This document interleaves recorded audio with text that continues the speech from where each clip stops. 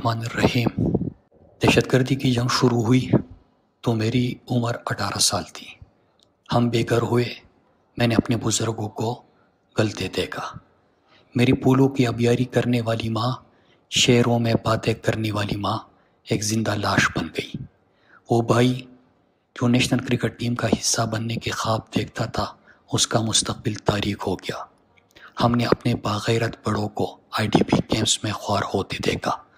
पर्दादार बहनों को राशन की कतारों में देखा परदेश में हमारे बाप सिसक सिसक कर रोते थे कि जिन घरों को उम्र लगाकर बनाया था, वो मट्टी का ढेर हो गए।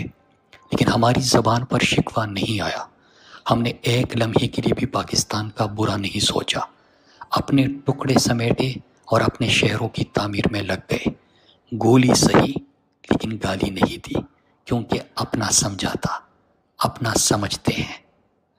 आज जो रोज़ाना गद्दारी के और दहशतगर्दी के फतवे लगाते हैं, तोहमत लगाते हैं, ये कौन है? हमारे मुकाबिल कौन था? और ये कौन लोग हैं? मेरे पाकिस्तानियों, इनकी तारीख आप जानते हैं। डान लीग्स क्या था? कि इन्होंने अपने आप को साफ़ करके अपने ही इदारे और अपनी ही फौज पर दहशत गर्दी का इल्ज़ाम लगाया। इन्होंने पीडीएम का आगाज़ किया तो पहले ही प्रोग्राम में इनके प्लेटफॉर्म से पाकिस्तान और पाकिस्तान के इदारों के ख़िलाफ़ जहर उगला गया।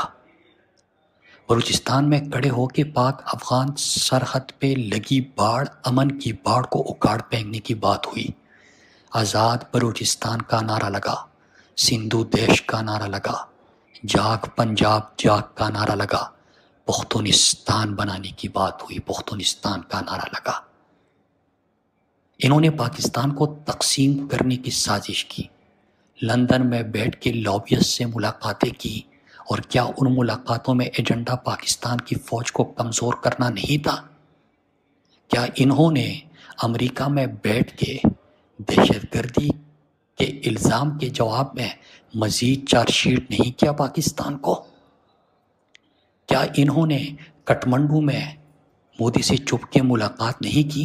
ये तो बरकदत की किताब आई, उसके बाद दुनिया को पता चला कि किस तरह नवाज़ शरीफ अपने मुल्क और अपनी फ़ौज से चुप के मोदी से मुलाकातें करता था। सजन जंदाल को क्या बगैर वीज़ा की मरी नहीं बुलाया गया था? और सवाल पूछने भी कहा गया था कि हमारे ज़ाती ताल्लुकात है। क्या मोदी को उस वक्त नहीं बुलाया गया जब चंद घंटे पहले उसने अफ़गानिस्तान में खड़े होकर पाकिस्तान के खिलाफ जहर उगला था। उसको नवाजी की शादी पे नहीं बुलाया गया था। क्या इंडिया जाके हुरियत रहनुमाओं से मुलाकात से इनकार और कारोबारी अशखास और अदाकारों से मुलाकात की ख्वाहिश का इजहार नहीं किया गया था? क्या इन्होंने हमेशा से अपने मुल्क और अपने इदारों के खिलाफ साजिशें और बयानिया नहीं बनाया?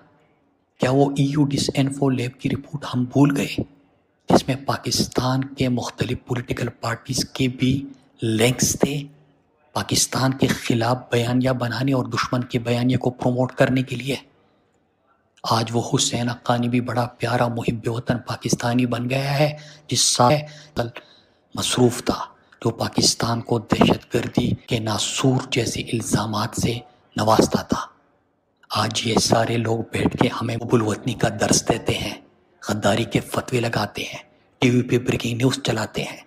इन सबको हम बताना चाहते हैं, हर मुहिब वतन पाकिस्तानी की मैं आवाज़ बन के कहना चाहता हूँ कि वतन से मुहकर होता था, जो पाकिस्तान के ख़िलाफ़ लॉबिंग में मुसलसल मसरूफ़ था, जो पाकिस्तान को दहशत गर्दी के नासूर जैसे इल्ज़ाम से नवाजता था।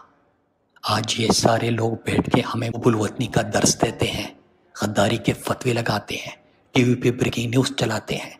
इन सबको हम बताना चाहते हैं, हर मुहब वतन पाकिस्तानी की मैं आवाज़ बन के कहना चाहता हूँ कि वतन से मोहब्बत हमारी रगों में खून की तरह दौड़ती है। आप हमारे आइन और कानूनी हक तो छीन सकते हैं, रस्ते बंद कर सकते हैं।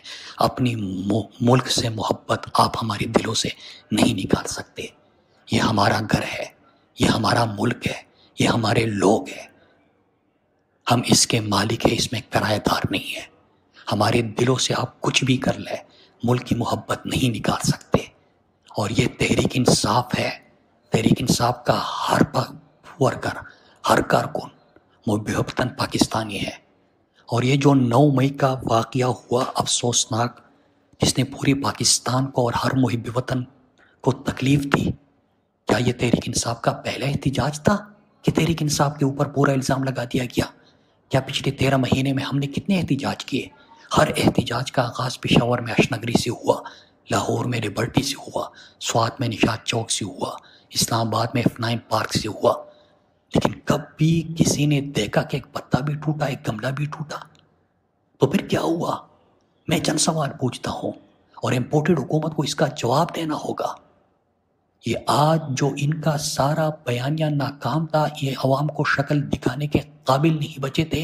आईने पाकिस्तान को रोन कर जो नौवे दिन में इलेक्शन करवाने हैं, वो नहीं करवा रहे थे, इलेक्शन से भाग रहे थे। अदालती अहकाम नहीं मान रहे थे। तो सवाल पूछता हूँ कि इससे पहले साढ़े तीन हज़ार पी टी आई के कारकुनान क्यों गिरफ़्तार किए गए थे? आज तो आप गद्दारी का और दहशतगर्दी का इल्ज़ाम लगा के लोगों को उठा रहे हैं। तो खुद राना सनाउल्ला बैठ के प्रेस कॉन्फ्रेंस करते हुए कहते हैं कि इमरान खान की गिरफ्तारी के बाद पूरे पाकिस्तान में पाँच हज़ार बंदा निकला था। तो मैं सवाल पूछता हूँ कि दस हज़ार जो आपने गिरफ़्तार किया है और टीवी पे उनको दहशत दहशतगर्दी कहा रहे हैं तो दस हज़ार कौन है? जब पूरे पाकिस्तान से पाँच हज़ार कारकुनान ही एहतजाज के लिए निकले थे। दूसरा सवाल है हमारा कि ये तो आपकी हमेशा से ख्वाहिश रही है मरियम की तकरीरें उठा के देख लीजिए। लंदन में मफरूर इश्तिहारी नवाज़ शरीफ जो बैठा हुआ है, उसकी तकरीरें उठा के देख लीजिए कि एक साल से कह रहे हैं कि तहरीक इंसाफ को कल अदम कर दे तहरीक इंसाफ पे पाबंदी लगा दे, इमरान खान को माइनस कर दे। तो आज नौ मई की बात करके आप पूरे पाकिस्तान के मुहिब वतन पाकिस्तानियों के ऊपर गद्दारी और दहशतगर्दी का इल्ज़ाम लगा रहे हो। पहला सवाल है हमारा कि जब पिशावर में एहतजाज शुरू हुआ और हमेशा अशनगरी से शुरू हुआ है तो उस वक्त वो कौन लोग थे जिन्होंने हमारे एमपीएस के कपड़े इसलिए पाड़े कि वो आगे नहीं जा रहे थे, उनको प्रोवोक किया जा रहा था? तो कौन थे जो उन्होंने हमारे एमपीएस के कपड़े पाड़े वो कौन थे जिसकी वेडू तैमूर झगड़ा ने ट्वीट की कि वो लोगों को उकसा रहा था प्रोवोक कर रहा था वायलेंस के लिए?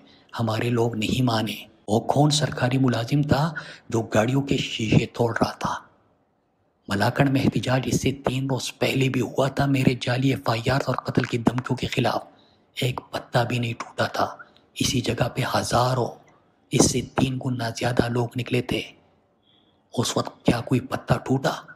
लेकिन इस दिन जब गोलियाँ चली और हम, हमारे कारकुनान जब उनको लेके जा रहे थे अस्पताल तो उसमें से एक बंदी के लिए बार बार फ़ोन आ रहे थे और उस जख्मी की प्रेस कॉन्फ्रेंस उठा के देख लीजिए, उन सवालों की भी दवाबात दीजिए। आज पूरी पाकिस्तानी कौम चाहती है कि एक इंक्वायरी कमीशन कायम हो, ताकि वो साजिश बेनकाब हो कि वो कौन है जो पाकिस्तान के सबसे बड़े पॉलिटिकल पार्टी और अपनी फ़ौज को मद्द मुकाबिल लाना चाहते हैं, कौम और फ़ौज को मद्द मुकाबिल लाना चाहते हैं। फिर इस बयानी का फ़ायदा उठाना चाहते हैं। फिर इसी का बाधा ओढ़ के किसी के घर में भी घुस सके, किसी को भी उठा सके, किसी को भी मार सके, किसी का भी घर तोड़ सके, किसी की खातन को हरासा कर सके। ये साजिश आज नहीं तो कल भी नकाब होगी और ये कौम के सामने आएगी। इसी तरह इमरान खान जो पाकिस्तान, पर में पाकिस्तान की इज़्ज़त का सबब बना, जिन्होंने पाकिस्तान का अलम थामा तो दुनिया जीत के लिए आया। जो धरती के सीने पे तमकी की तरह चमकता इमरान खान है, आज उसको भी गद्दार और दहशतगर्द कहा जा रहा है। यही इमरान खान था जब पाकिस्तान को दहशतगर्दी से छोड़ा जा रहा था। आप सबके चुके सर होते थे, आपको ढूम और का हुक्म मिलता था। इमरान खान ने एब्सोल्युटली नाट कहा, आपके दौर में 400 ड्रोन हमले हुई इमरान खान के दौर में एक ड्रोन हमला नहीं हुआ। इमरान खान ने पाकिस्तान को टेररिज्म से टूरिज़्म की पहचान दिला दी। जब इस्लाम को दहशत गर्दी से छोड़ा जा रहा था तो बड़े बड़े मौलवी और मुफ्ती भी खामोश थे। क़ियादत भी सारी खामोश थी, सियासी मौलवी खामोश थे।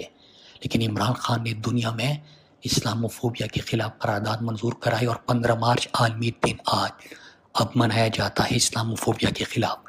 इमरान खान फ़लस्तीन और कश्मीर के सफ़ीर बने। इमरान खान ने नामोसी रसालत अलैहि वसल्लम का पैगाम दुनिया के बड़े ऐवानों में लेके गए। जब इंडिया ने पाकिस्तान को मिली आँख से देखा तो इंडिया के गुरूर को अभिनंदन की सूरत आसमान से गिरते दुनिया ने इमरान खान के दौर में देखा। इमरान खान ने पाकिस्तानियों को मुतहद किया। जब आप तकसीम की बात करते थे, जब आप लोगों को तकसीम करते थे, अपनी सियासत के लिए, मफादात के लिए, इमरान खान ने उनको पाकिस्तानी कौम बनाया, अमन का दर्ज दिया कबुलवतनी का दर्ज दिया, पाकिस्तान की बात की। आज उन पे आप गद्दारी और दहशत गर्दी का इल्ज़ाम लगाते हो शर्म आनी चाहिए तुम लोगों को। और मैं इतना कहूँ कि नसीब दहशत गर्दी की जंग में कुर्बानियाँ दी, लेकिन अभी फिर से एक दफ़ा मेरे पाकिस्तान में, हमारे पाकिस्तान के अमन को तबाह करने की जब कोशिश की गई तो पहली दफ़ा पाकिस्तान की तारीख में हुआ है कि मैंने अपनी कौम को लीड किया, लाखों लोगों को सड़कों पर लेके आया और अपना अमन यकीनी बनाया। अपनी जान पर खेल कर अपने पाकिस्तान के अमन को अज़ीज़ रखा। इतना बताना चाहते हैं कि आपकी साजिश और आपके बयान ये तमाम नाकाम होंगे। मैं अपने पाकिस्तानियों को कहता हूँ कि मेरी पाकिस्तानी कौम, डरो मत, दबो मत, तुम हक पर हो डट कर खड़े रहो। ये बयान ये बनाते हैं, चाले चलते हैं। ये खुदाई के दावेदार ज़रूर है, खुदा नहीं है। ये हमारी ज़िंदगी मौत के मुख्तार नहीं है। ये इज़्ज़त और ज़िल्लत के मुख्तार नहीं है। तारीख ताराज करेगी। इनके बयान ये अगर हमारी ज़िंदगियाँ ना कर सकी। आप सबका बहुत बहुत शुक्रिया।